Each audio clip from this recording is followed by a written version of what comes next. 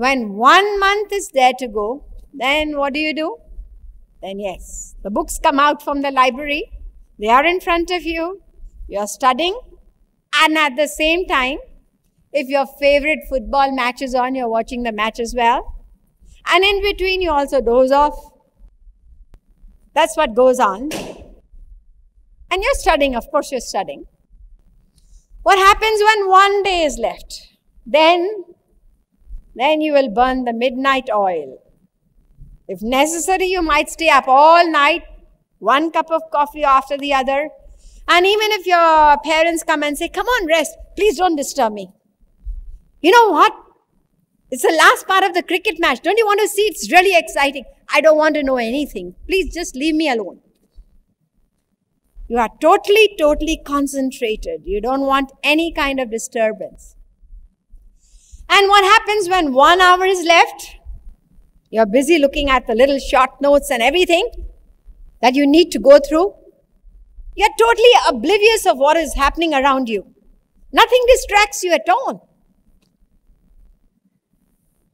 When you're sitting to write down the paper, then do you think of your mom? You think of your dad? You think of your girlfriend, your boyfriend? What you're going to have for dinner tonight? Not at all. Nothing crosses your mind. You're totally concentrated on writing, writing, writing.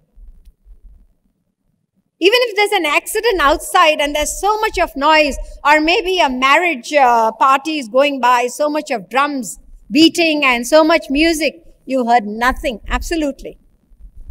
The concentration, just think of that. Why? Because you are very concerned. If I fail, then I'll end up losing a year. Right? We are very careful about that, very concerned about that. Now, just think, whilst we were writing that paper, usually papers, either it's a two hour exam or it's a three hour exam, right? Now, for those three hours, you know for certain that nobody can snatch the paper away from you. Unless, of course, you're copying or something. But if you're not, nobody can. No teacher can. No principal can snatch the copy from your hand. You have your three hours. It's only when the bell goes that they can take the paper from you. So there is a guarantee that you have three hours. And this human life, do we have a guarantee of three hours? You heard the story of uh, Yudhishthir, one of the Pandavas. He was approached by a poor Brahmin who wanted some charity to get his daughter married. Yudhishthir was a very generous person. And he said to him, Definitely, I'll give you what you want, but please come back tomorrow. I'm busy today. The Brahmin said, okay, that's fine. And uh, at that time, Yudhishthir's brother, Bhim, was standing over there and he heard this conversation. He immediately went out, he called the minister and he called everybody, come on, go out into the kingdom and tell everybody that they have a holiday today. They can enjoy themselves and no work. It's a holiday. When Yudhishthir went out and he saw everybody enjoying themselves, he wondered, I mean, I think I'm working too hard. I don't even know it's a festival today. Is it Diwali? Diwali is tomorrow. Not today. Janmashtami? Oh. Is it Christmas? What is it? He got no answer. No, no, we don't know anything what it is. But we got orders from the palace that we have to enjoy a holiday today. So Yudhishthir found out one by one by one. Eventually, he came to know that the source was his own brother Bhim. He called him. How come you declared a holiday today? What's happened? Is it your birthday? I'm sorry, I've forgotten. No, it's not my birthday. The reason why I announced it to be a holiday is because you have won a great victory. What victory? There's been no war. What are you talking about? You've won a victory over death. What are you talking didn't you tell that Brahmin to come back tomorrow? Yeah. That means you're absolutely sure you're going to be alive till tomorrow, aren't you? So you have one victory over death for one day. Yudhishthir realized his mistake and he thought, I thought this brother of mine, he was just huge and fat, but he seems to be having more brains than I do. So, in the same way, when we were doing the exam, we knew we had three hours, but about human life. That's why I'm saying that it's so difficult. We know it's true. We know that what's happened to your neighbor, what's happened to your friend, all of a sudden, he went to work, he never reached work, and he died on the way. You hear of so many instances, especially when there are natural calamities, what happens? When the tsunami came a couple of years back, what happened? People died in their sleep. They were swept away in the waves. Unless we constantly tell our minds about it, we tend to be careless. So we don't know whether we're going to have three hours. Now, when we were doing that paper with full concentration, it was due to the fact that we did not want to lose one year. One year of what? What is this education about? Winning bread and butter, right? And this knowledge which we are talking about, this knowledge is going to free you of this business and stress of bread and butter. It's going to free you of all this sea of trouble we are going through since time immemorial.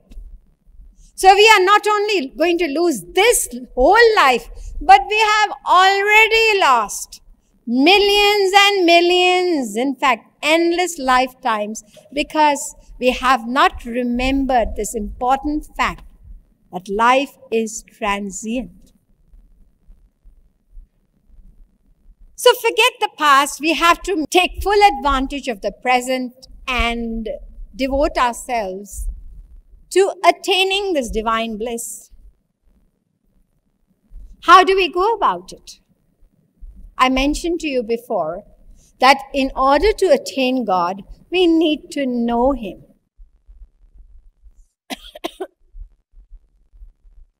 ज्ञात्वा शिवम शांति मत्यंतमेति Shvetashvatara Upanishad verse number four fourteen ज्ञात्वा देवम मुच्यते सर्वपाशै number six thirteen सुखम शाश्वतम नेतरेशम verse number six twelve तमेव विदित्वाति मृत्युमेति नान्यः पंथा विद्यते अनाया verse number three eight and verse number 615 of the same book of scripture.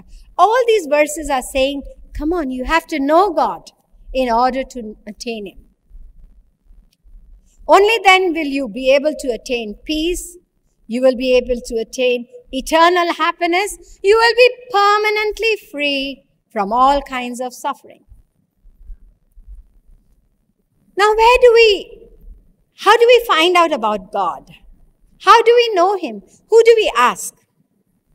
Suppose we ask people in this material world, our fellow beings, we are not going to get anywhere because they are just as ignorant as we are. So if we are going to ask them about who God is, then we are going to be like the blind led by the blind. Andhe naiva niyamana yathandah. Mundakopanishad verse number 1 to 8. Suppose there's a group of blind men standing together, and one blind man says, Can one of you lead me to the near, nearest bus stop? Another blind person, he wants to have some fun. He said, Yes, yes, I can take you. I know where it is. He knows that this man is blind, so he can't see that he is blind as well. So he says to him, Listen, blind man, come and hold my hand and I'll take you to the bus stop. So one blind man holds the hand of another blind man and they walk. They hardly moved a few yards and down they go into a ditch and instead of the bus stop, they end up at the hospital. So this is exactly what will happen to us if we start asking each other about who God is. Then what do we do? Well, I know what I can do. I do not need to ask anybody.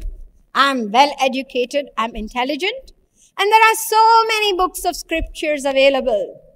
Vedas, the Ramayana, the Puranas, the Gita, the Bible, so many book of scriptures. I can read myself. I can understand and find out who God is. Well, you're totally mistaken. In order to understand what these scriptures are saying, you need to have the intelligence, the level of the intelligence of the writer of those scriptures.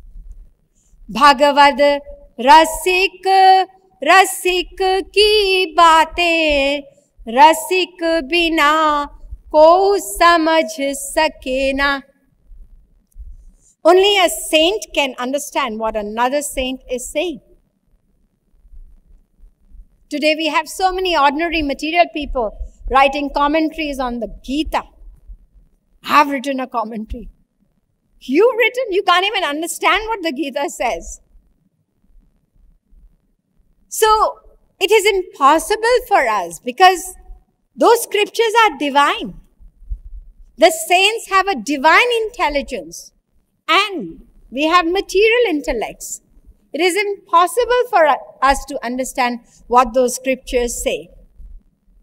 And besides, there are numerous scriptures, not one, but so many. Shrutir vibhinna, smritayo vibhinna, naiko muniryasya vachah pramanam. There are lots of scriptures and these scriptures on outward appearance they seem to be contradictory. Even the six philosophical systems of India, if you read the philosophy, you, you will end up going all confused. So when we try to read these scriptures on our own, we will have more confusions than we've had before. Instead of dispelling our doubts, we are going to have confusions. For instance, there are some religions, religions that are totally silent about the existence of God. They preach moral values. There are some religions and scriptures that say God is only impersonal. That means he's formless, just an energy. And there are some who say God is personal, God has a form. And there are some that say God is both. He is personal as well as impersonal. Now, a person, an ordinary person in the world, when he reads all of them, he's bound to be confused. And not only that, the words in the scriptures, especially the most authentic of scriptures, the Vedas, one word is used at different places and has different meanings. The same word. Yesterday we were talking about King Indra being the king of this abode of heaven, which is within the material realm. But mind you, the word Indra has also been used for the supreme being, God. The word Atma or soul, it refers sometimes to God, sometimes to divine personalities like the saints, and sometimes to ordinary people. That is, people like us who are bound by material Maya. The same word. Now, how will we know what it means and where? That's why the scriptures advise us. In fact, the scriptures themselves say, Vibhetyalpashrutad vedo mamayam praharishyati. These scriptures are scared they say we fear people who are ignorant, who are material, who are going to read us and misinterpret these divine truths. That's why even Tulsidas says, he says, Shruti Puran Bahu Kahe Upai Chutaina Adhik Adhik Urjai if we read these uh, book of scriptures on our own, then instead of getting liberated, we are going to get more and more trapped. So then, what do we do? How do we know about God? Which is the authentic way to know about Him? All the scriptures are saying we need to know Him, know Him, know Him. Only then you'll attain Him.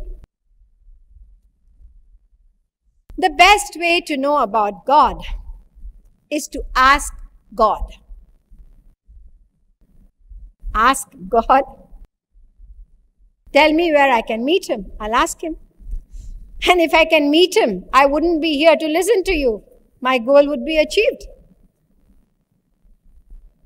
Well, don't worry. We don't need to meet God to find out from Him. He's already told us the answer. Where is the answer? The Vedas, they are the Word of God. In fact, the scriptures say, Nishwasita Masya Vedaha. The Vedas are the breath of God Himself. Jaki Sahaj Shwas Shruti Chari. From His breath, this eternal knowledge of the Vedas was manifested. Veda Brahmatma Vishaya. Bhagavad Puran, 11th canto, 21st chapter, 35th verse. The Vedas are the form of God Himself. There's no difference. This divine knowledge and God, they are both the same. That's what these scriptures are saying. So, in fact, the most uh, authentic source of divine wisdom are these Vedas. You will be surprised to know that even great philosophers in the West have uh, accepted these Vedas as authoritative sources of knowledge. And they have bowed down before them. The German philosopher Schopenhauer said, in this whole world, there is no study as elevating as the Upanishads. It has been the solace of my life and it shall be the solace of my death. That's what he's saying. I can get peace from here. That's what he's saying. And uh, referring to the Vedas, Schopenhauer says that these scriptures are almost superhuman conceptions whose originators can hardly be said to be mere men. So, in a way, he is admitting it cannot be man who's done them, it has to be that supreme being. Max Muller, referring to what Schopenhauer had said about the Vedas, he says, if these words of Schopenhauer require confirmation, then I would be willing to give it as a result of my lifelong study. Max Muller himself said, he said that if one would ask me which literature would give us Europeans that necessary equilibrium to make our life more perfect more comprehensive, more universal, in short, more human, a life not only for this life, for us, but a life of a transformed and eternal life, I would indicate India. This is what Max Muller is saying. And now listen to the best part what Schopenhauer has said. He says that I get more out of one page of these ancient, ancient Hindu scriptures than I get out of 10 volumes of Western philosophy after Kant. Imagine one page and 10 volumes. It stands no comparison. So you cannot compare Western philosophy to this divine wisdom of the Vedas. In fact, there is no comparison at all. It's naive to even think of it. So the Vedas are eternal. They are manifested at the beginning. Eternal truths that are manifested at the beginning of every creation. Now let us find out what these Vedas say about God. That is what God says about himself because it is the word of God. It is said, Na Vedavin Manute Tam Brihanta. One who does not know the Vedas cannot know God. Now you might question my authority of giving you this supreme knowledge. Listen to what the Vedas say. Acharyavan Purusho hi Veda. You cannot understand the divine wisdom of the Vedas without guidance from a genuine saint. And this is where I have got this beautiful divine wisdom from. Every word that I'm sharing with you, I have heard and learned with the causeless grace of my spiritual master, and the world knows him as Jagat Guru Sri Kripaluji Maharaj. Not only spiritual seekers in the world, but even those who are great teachers of divine wisdom, even they are absolutely awed by his scriptural omniscience. In fact, you could say he is a walking encyclopedia of the scriptures. This is what made uh, the Kashi Vidvat Parishad, a body of 500 topmost scholars of Banaras, they honored him with the degree of Jagat Guru when he was only 34 of years of age on 14 January 1957.